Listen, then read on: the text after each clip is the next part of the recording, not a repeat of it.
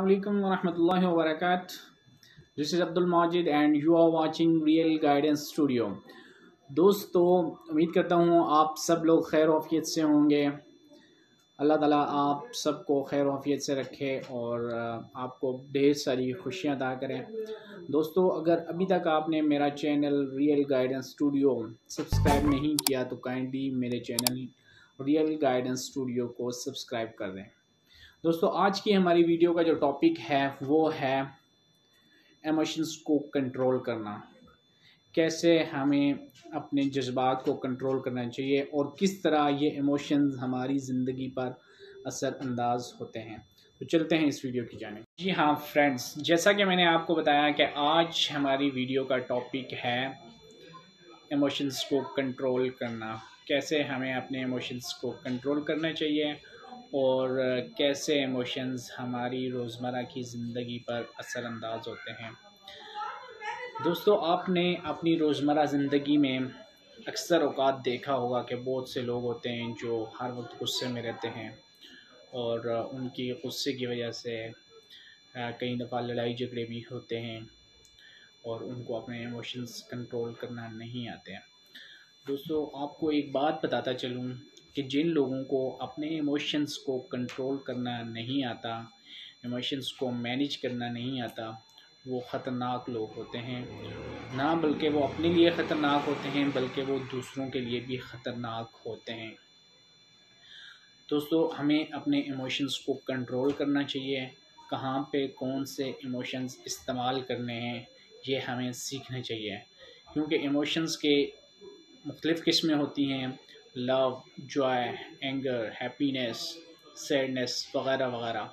बहुत से किस्म के होते हैं इमोशंस अगर आप किसी एक इमोशन की भी बात करें तो आपको उसका पता होना चाहिए कि आपने वो इमोशंस कहाँ पे इस्तेमाल करने हैं।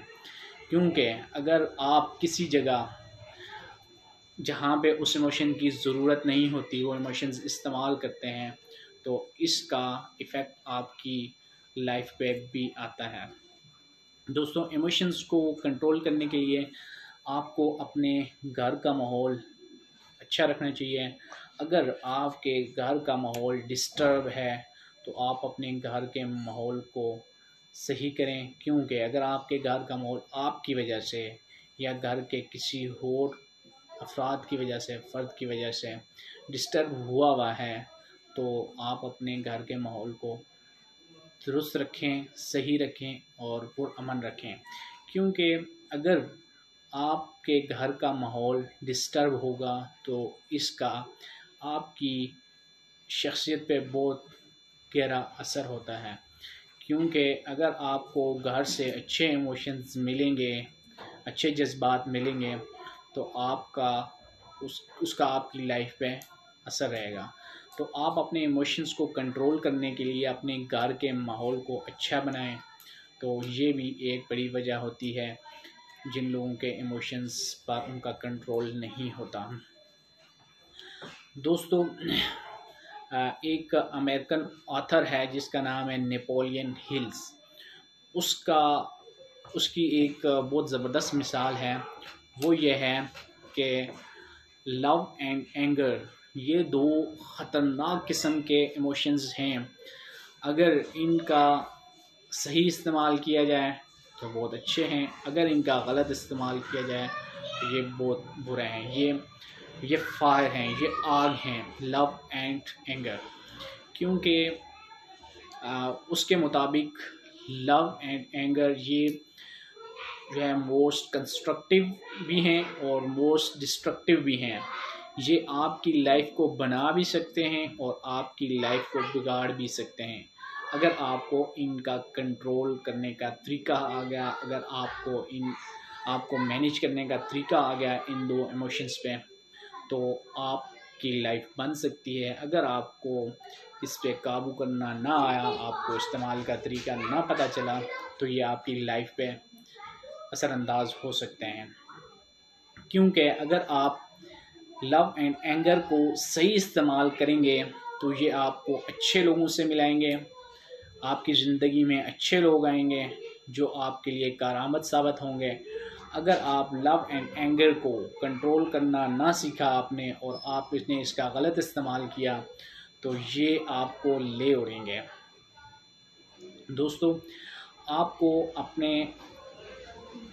इमोशंस का अच्छी तरह इस्तेमाल करना सीखना चाहिए, कहाँ कहाँ पे कौन से इमोशन इस्तेमाल करने हैं और कहाँ पे नहीं। दोस्तों, ये दो इमोशंस अगर आप अच्छे तरीके से इस्तेमाल करेंगे, इनको कंट्रोल करने का आपको तरीका आ गया तो ये आपकी इज़्ज़त बना सकते हैं। अगर आपको कंट्रोल करने का मैनेज करने का तरीका ना आया तो ये आपकी बनी बनाई इज़्ज़त को भी खाक में मिला सकते हैं। दोस्तों लव एंड एंगर, ये दो ऐसे इमोशंस हैं जो कि हाई चेकर के तौर पर काम करते हैं। अगर इन्होंने आपके माइंड पे, आपके दिमाग पे हाई चेक कर लिया तो ये आपको वहाँ पर लेके जाएँगे अपनी मर्ज़ी से, जहाँ से वापस आना भी बाज़ात मुश्किल होता है। तो दोस्तों, आपको अपने इमोशंस पे कंट्रोल रखना चाहिए।